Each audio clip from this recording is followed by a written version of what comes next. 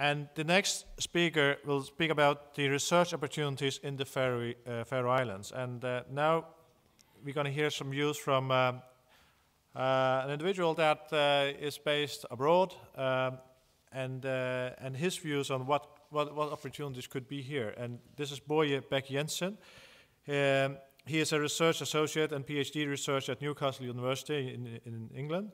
And his field of research is design of electromagnetic uh, components, uh, focusing particularly on energy efficient electrical machine design and uh, inductor design. So, Bogi, please, the floor is yours. Yeah, thank you very much. Um, good afternoon, everyone, ladies and gentlemen. The conference so far has been about the climate and climate uh, change, and therefore has focused on energy efficiency, sustainability, and so on. Um, this workshop is titled The Transatlantic Climate Institute as a Knowledge Hub and is therefore focused more on research or rather a research institute. And I would like to address this topic with my presentation titled uh, Research Opportunities in the Faroes. Um, my presentation comprises of three parts. The first one being additional workforce for a research institute. And here I'm thinking about the lecturers and the students at the Center of Maritime uh, Studies and Engineering, which is called the uh, School in Faroese. Second part is alternative research in the Faroes, so uh, non-traditional research that we're not doing now, but which we uh, could be doing. And then I'll conclude by uh, asking the question, how could we attract researchers to the Faroe Islands? The Faroe Islands are facing very exciting times ahead. Uh, the country has a long history of educating marine professionals, uh, both in nautical science as well as in marine engineering. And it is in the future that these educations will be upgraded from a diploma level and to a university degree level. Now, at diploma level, uh, academic research has not been compulsory, so uh, therefore the lecturers have been, uh, act, have been acting as uh, teaching staff and the students have mainly taken taught modules. But as we know, uh, research or academic research is the very foundation of university um, education. So therefore, both lecturers as well as students will have to do research when, when that happens. If we look at the Maritime Centre, it has 180 students and they're spread over six semesters. So on average, that gives 30 students per semester. And there are 20 permanent lecturers who are working there full time. Now, assuming that the research project will be on the last semester, we will at any given time have 20 uh, full time lecturers who will be carrying out research, as well as 30 students. And they usually take in students twice a year, so that will be ongoing uh, all the time, uh, of course, except for during holidays. Right, where am I? if we look at, um, of course, it will be bachelor projects. So if we look at bachelor projects, many might think that it's, it's a very small project. But of course, as we all know, most larger projects comprise of several smaller projects. So why not um, gather these bachelor projects and build up a larger project that they could be part of? I believe that there are substantial benefits both for Tacit as well as for the Maritime Centre.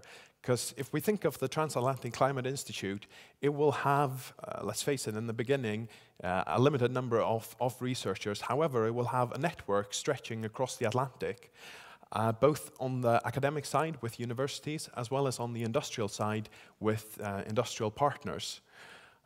Ah, sorry. there it is. Um, at the Center of Maritime Studies and Engineering, they are not very experienced in uh, carrying out research, so they could really benefit from this experience of the researchers at Tacit. And uh, the Center of Maritime Studies will have uh, quite, quite a, a, good workforce, share workforce. So, um, and in that way, they could uh, aid the Tacit and be uh, an asset to them. It would therefore be my recommendation that as a feasibility study is possibly further carried on, or the planning is, is carried on, that people would take the uh, Center of Maritime Studies and Engineering, Vinnuháskúlin, and that they would take that into consideration and the uh, uh, transitions that that school will be undergoing. Right. Uh, alternative research that we could do in the Faroes. In the Faroe Islands, the main, sorry, the main export is, uh, comes from the fishing industry or fishing equipment or other sea-related products. So one would be inclined to think that all research carried out in, in the islands here should focus on the fishing industry or on uh, other sea topics. And as the first approach, that would be an excellent idea because we, we have the experience and the expertise. However, as the fishing industry has grown and developed, um, so have other industries. And here I'm thinking about the shipyards that we have, the well-functioning shipyards, the mechanical workshops, workshops for, for working stainless steel and aluminium, electrical workshops, all of which are used to partaking in one-off projects, so small projects rather than uh, mass production.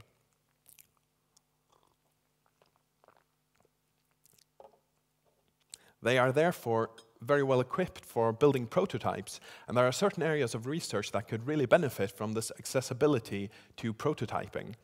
Um, one of those areas, uh, to a certain extent, is, is uh, what I do, the research that I do at, at Newcastle University. And uh, of course, um, the research that I do, um, or the, the way that it's carried out, can be applied to many other fields of mechanical engineering or other areas of electrical engineering. And because of that, I would like to go through a basic research project in, in my world. And uh, in that way, emphasize that this, what I do, as well as other areas, could just as well be done in the Faroes as it is in the UK or in America or anywhere else. Um, right, so uh, I'll, I'll, take you through this and I shall endeavor to make it interesting rather than boring. Um, first, you have an idea. So you might have an idea um, that you want to pursue, or you might have a problem that has been given to you by the industry or by a regulatory body such as politicians and so on. Or you might have a solution to a problem, so you just need to find the problem. So, okay, let's go with that. You have, you have an idea that you want to pursue. Um, what you do in the beginning is you investigate have other people worked in this area and what have they done? Have they possibly even cracked the problem? So they've already solved your, your, your idea. And after that, you go into doing some basic design calculations, what's called back of an envelope calculations, or in this kind, uh, or in this case, napkin calculations. You might use Excel just to do some basic uh, design calculations, but you don't go bunkers with them and go really into details at this point, but rather just uh, uh do in, an initial investigation. Once you're satisfied with that, you would go into modeling the machine or the component. This is uh, um, an induction machine, something that I work with. Um, and then you do a simulation. And from these simulations, you can tell, you can predict how the component will behave under certain conditions. And that's a three-phase inductor and a uh, simulation of that. Once you're happy with your simulations and your detailed design, which would take place in, uh, during the modeling and simulation, you go on to prototyping, which I argued earlier that the Faroe Islands is very capable of. This is a prototype that I'm building as we speak, uh, a rotor and some rotor bars that are cut out of this copper slab. They go into each of these. Um, once you've built your prototype, you want to test it. And testing is a bit similar to what we all did in physics in school, where you touch the Van de Graaff generator, the hair goes up in the air, possibly not to the same extent as this girl. I think mine only wobbled, but they said it was because it was dirty. um, and all along, you might have been thinking about patents and publications.